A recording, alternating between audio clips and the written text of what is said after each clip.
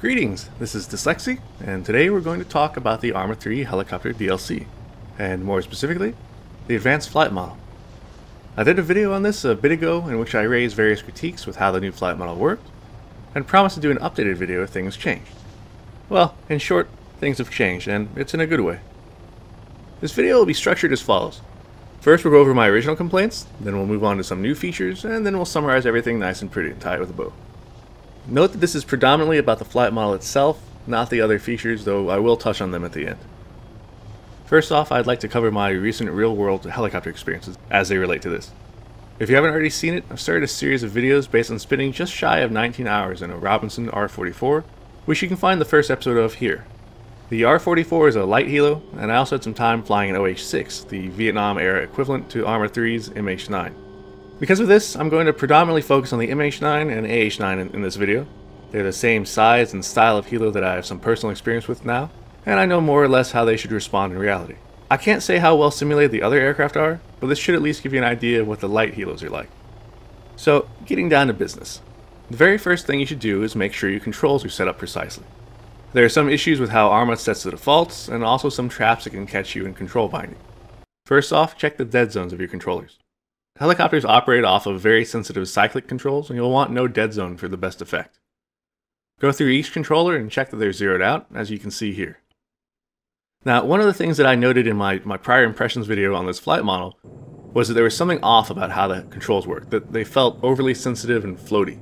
I hypothesized at the time that there might be something in the interface between RotorLib and Arma 3 that was messing things up, but that I hadn't figured it out at that point.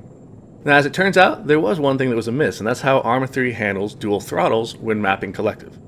If you have a Warthog throttle like me, or some setup where multiple axes are assigned to collective, you'll need to do something deliberate to avoid this issue. Go to your collective mapping, and make sure only one axis is mapped to the throttle. If you don't do this, Arma will combine the two axes and completely fuck up the collective response. It'll essentially double the inputs, and leave you with the front and back of the throttle range being unresponsive, while the center is hypersensitive. You can check this easily by flying a Blackfoot and looking at the HUD readout of torque. If you have doubled controls, no collective will cause it to read negative, and adding collective will cause it to max out at 100% well before you reach the end of the movement range. Now, this issue has been reported, it'll hopefully be addressed, but for now, that's the workaround for it. If you're using a Warthog like I am, for the record, I bind the left throttle as collective. This is just how I tend to hold the throttle, and it gives the most precision for me. Your mileage may vary. So with all that out of the way, you should find the control responsiveness to be pretty reasonable. Now as far as your game settings, I'd strongly recommend the following. Anything else doesn't really live up to the whole advanced flight model. So the first setting is show gauges. It's up to you. I keep it off due to flying the, uh, the little birds, and the panel has the correct instruments for these. I find the flight path indicator that shows up with the gauges on to be somewhat cheesing it for helicopters that don't necessarily have that capability in reality, but you know, it's up to you. I mean, yeah, it's the future, woohoo, but still, it's not as exciting. For rough landings, disabled. If you're breaking your helo while landing, this is God's way of telling you that you're doing something horribly wrong. Fix it, adapt, and overcome. Learn how to fly. Wind effects. Um, on. E even if the wind modeling is, is fairly bland, it's still better to have this on than off. It can make things more interesting. Auto trim disabled. If you're trying to fly a helo sim without pedals, it's not the smartest decision, so you could be forgiven for using this while you save up for pedals. But if you have pedals and turn auto trim on, you're missing out on a, a much richer experience. You're kind of defeating the point of it. Stress damage. Enabled. Unless you run into some horrible bugs with this, stress damage will prevent you from doing absurd abuses to the airframe. And this is a good thing, what with the advanced flight model being a simulation in the end. So that's the settings. Now on to the, the issues I had previously. Uh, next up we have the tail rotor responsiveness. The original builds of this flight model had a, a, very strange tail rotor response where the tail rotor and boom behaved as if there was no slipstream whilst traveling at speed. This confused the flight model and made for some outlandishly incorrect behaviors when applying pedal at speed. In the release version, the tail rotor seemed to be much more reasonably modeled. You can yaw somewhat at higher speeds, but you can't flip a 180 until you slow down to something more reasonable. I can't say if this is perfectly correct, but it's far better than how it was before. So in that respect, we'll chalk this up as an improvement. I also spoke about rotor RPM in the prior video. One of the things I hoped to see was a rotor RPM gauge on the 2D gauges panel, but unfortunately this hasn't happened. It would also be nice to have a torque gauge, but this also hasn't happened. You have to look for that on the actual instrument panel and hope that the aircraft has it modeled in high fidelity, like the MH9 and AH9. There is an altitude gauge. It's pretty much a total waste of space and a wind gauge that gives direction but no strength of the wind, and takes up as much space as the more important gauges. I think you could take these two gauges, take them away, replace them with torque and rotor RPM, and then do some simple condensed wind and altitude readouts. You have a, a very solid setup, but unfortunately that's just not how it is currently. Maybe in the future. Now, they did add an element to the HUD uh, in the upper left that shows the status of things like your engine, landing gear, anti-collision lights, wheel brakes, uh, RPM warning, and torque. And these are nice to have for sure, but having those torque and RPM gauges in more detail on the actual gauge panel would be much nicer. It's not like you have to choose between one or the other, it's just that it'd be nice to have those. So in addition to that, the, the rotor RPM behaves in a somewhat strange fashion. If you look at your aircraft in level, normal flight, you'll see that the RPM is targeting the bottom of the green arc instead of the middle. This isn't typically how a governed engine will work. You want to be well within that green arc for safety's sake. That's why it's there. You go too high, you've oversped the rotors. Too low, bad things will happen. So that's a, that's a hanging question mark about the flight model, and I, I wonder what issues might stem from having the rotor RPM perpetually lower than it should be. And there also seems to be some evidence pointing towards the RPM handling being a bit flawed when maneuvering. But it's one of those topics that's hard to address. You can you can work with it as it is, but it may not correspond as closely to reality as one would hope. And then there's vortex ring state, or VRS, which was one of the biggest complaints I had of the old model. You'll note that it's not in the release version of the Helo DLC flight model. However, this is tempered by the fact that it was briefly included in the dev build, and it should be back once it's been polished up to an acceptable level. The initial version was a bit too severe, it, it didn't visually present itself that well, but it was a step in the right direction, just a little awkward first step. So while I'm disappointed that it isn't in from the start, it's clear that it is coming, so I'd rather give them props for holding it back because it wasn't ready, versus them pushing it out due to feeling pressured. They are doing it, so that's what counts to me. I also talked about adding some more immersive camera effects, things that would help to convey the real world sensations in a more visual fashion. They didn't do everything that could have been done here, but what they did add is nice. As g-force increases, the camera shakes to indicate the higher stresses occurring on the airframe. It's a cool visualization and it doesn't stop at helicopters. Jets also benefit heavily from this. It makes for a, a much more alive sensation of flight. You can see the G's even if you can't feel them. The automatic head tilting that DCS does during banks is absent, perhaps in the future, and the 6 degrees of freedom uh, head tracking hasn't changed from how it has been. Still, overall, it's a net positive. This G-force is it's a nice indication. And then, there's one of the most frustrating issues in the history of ARMA, the aircraft damage and collision model.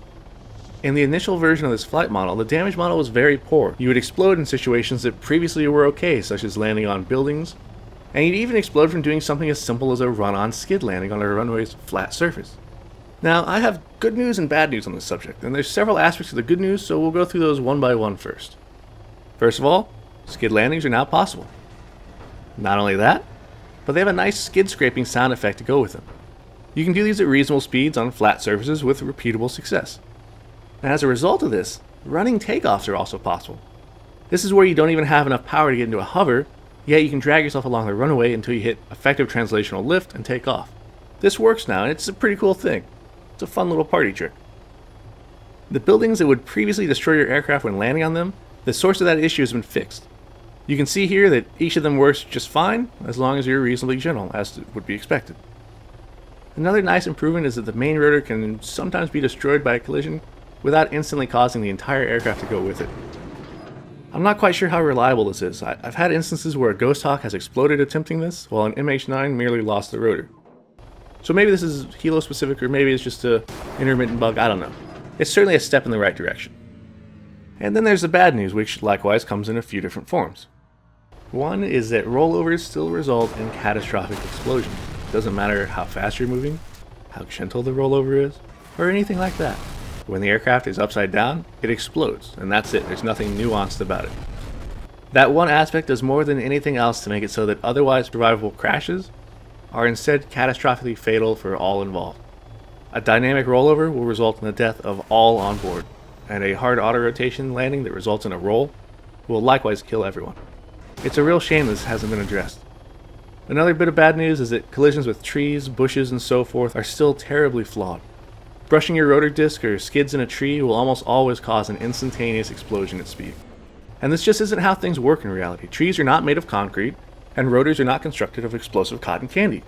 You can read anecdote after anecdote of this not being how things work in reality. You can ask helicopter pilots for examples of times that they've brushed trees or dragged their skids to the tops of them.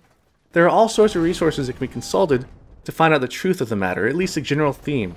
This doesn't need to be perfect, but it does need to have some flexibility in it, and that flexibility and depth is currently absent.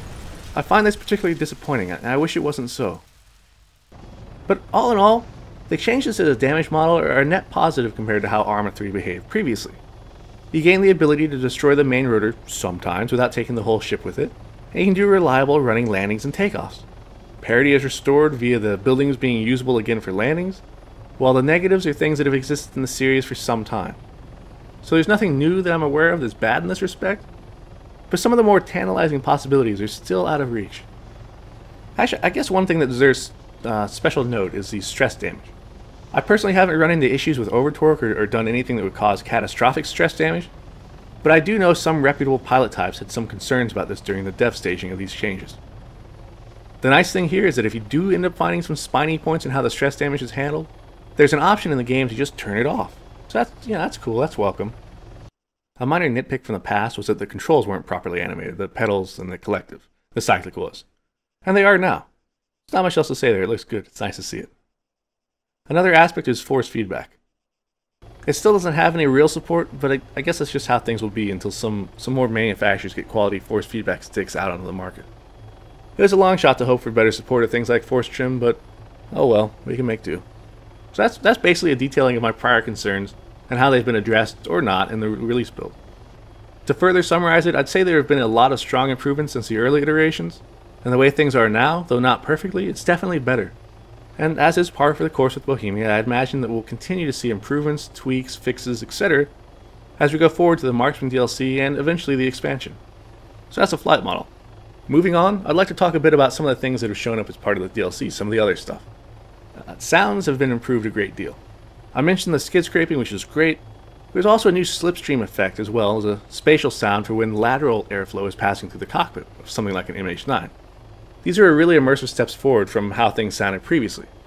Rotor RPM is also more audible now, you can hear the, the changing RPM. Uh, the engine noises are more accurate in general, and there are even specific sounds for engine and tail rotor failures. Another nice detail is that the weight of troops actually does influence the flight model. Here I am touched down with just a pinch less power than I need to come into a hover. As I tell my crew and passengers to debark without touching the collective, you can see that I lift up after only a few have stepped off. With the passenger weights being abstracted at something like 200 pounds per person, the seven other crew give me a, a 1400 pound reduction in weight, which drastically decreases the power needed to hover. If uncorrected, like I'm showing you here, you pop up into a high hover rather quickly. This adds a fun mechanic to dropping troops off from a hover. You have to anticipate their movements and work the collective accordingly. And at the same time, it gives another good reason for why touchdown landings can be more forgiving and less stressful. You have the appropriate areas for it. Sling loading has also been added, and it's quite well done. It's surprisingly well done. Hopefully this can be expanded to things like fast roping, SPIE rigging, uh, McGuire rigs, and similar things in the future. As it is, it's a nice logistical improvement, and the sling load assistant is a simple and functional means to facilitate single crew usage of the feature. I like it. I don't have much to say on it. I'm not a logistics guy, really. But, you know, if this helps the Helo pack some minigun and FFAR ammo over somewhere where I need it, then hey, that's good for me. Oh yeah, there's this completely awesome feature that's been asked for since the series began. FFV, or firing from vehicles. I am super psyched to see this finally show up, and it's done pretty well. There's some improvements that can be made to smooth it out a bit, but overall it's, it's very solid, it works more or less how you'd expect, and it opens up the door for all kinds of entertaining scenarios. I do hope to see some improvements to it in the future, such as allowing tank commanders to turn out and use their personal weapons, their binos and stuff like that. But what's already there is a major step forward in gameplay. The two new helicopters in the DLC are pretty cool. We have a, a future Chinook called a Huron, and a Sky Crane-esque helo called a Teru. Teru, I don't know. Both are neat, and the Teru comes with a lot of different variants for things like resupply, medevac, troop transport both in covered and uncovered version, and just a generalized sky crane variant. it has a surprising amount of versatility because of these variants. So, that's the basic story of both the advanced flight model and the, the basic Helo DLC feature set. Now, my takeaway from this is that while the initial flight model was very rough, it's been cleaned up quite a bit since, and seems like it'll improve going forward. The actual Helo DLC features like sling loading and fire from vehicles, they're, they're quite nice, and the two helicopters are neat and useful. I wish there were three or maybe four new helos, but eh, oh well. The overall package is certainly a gain for the Arma series, and it seems clear that Bohemia was listening to the community's feedback about the flight model in particular. I must say that I, I do sincerely hope that the damage model is given some much needed love in the future. It's one of the most disappointing aspects of the overall package, but that's more a legacy Arma issue than something that this DLC specifically introduced. I guess it's also worth noting that I like this kind of DLC much more than past efforts. I wasn't a fan of Queen's Gambit for Arma 1, uh, the PMC, the BAF, or the Czech DLCs for Arma 2, but this Helicopter 1 and the upcoming Marksman DLC both do things that I like to see. They expand the gameplay opportunities at the, at the base level instead of just adding a new army or vehicle set. Giving the players more fundamental ways to have fun in Arma pays off in huge dividends. And introducing that new tech makes it possible for the community to adopt it into a broad variety of new add-ons. I'd much rather see firing from vehicles show up than trickle down into community add-on efforts, than to see something like a, a new vehicle that the community could have done on its own anyway, or an emphasis on official single-player content that I don't personally see as the biggest draw of ARM at this point. I'm, I'm here for the sandbox. Now, as to how this compares to actual flight, like I said earlier, I want to address that more properly through my flight series. If you'd like to venture into that, take a look at the first video here, and also linked in the description. I think you'll enjoy it. As to my final verdict, let's close this out. The Helo DLC is a solid effort. The flight model, while not perfect, is much improved since my last adding with it. And more than that, FFV is great to have. Sling loading is really cool. The new Helos, the True in particular, the Teru, ah, fuck it, whatever. The one that starts with a T, they're solid additions. I look forward to seeing what the community does with all of this in the future, as well as where Bohemia takes these features going forward. So it's, you know, let's close it on a nice, happy note. It's cool. We're in a good place. This is nice. This is good stuff. Keep this up. More of this, basically. So that's, that's all I've got to say about it for now. I hope you enjoyed it. This is Dslyecxi, and until next time, take care and watch your rotor speed.